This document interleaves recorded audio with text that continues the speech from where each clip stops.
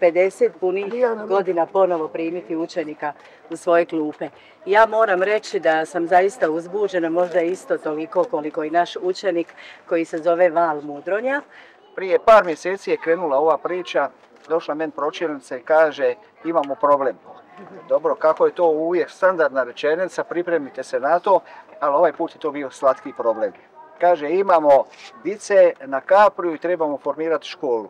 Ni u jednom trenutku se nismo mislili, nije niko postavio ni pitanje, ni di, ni kako organizirati, ni na kakav način to posložiti. Bila je odluka taj hrabri dečko, odnosno čestitke njegovim roditeljima, ti hrabri roditelji su zaslužili da to i imaju. Super, Bravo.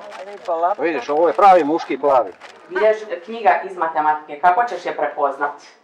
Kad učiteljica kaže izvadi matematiku.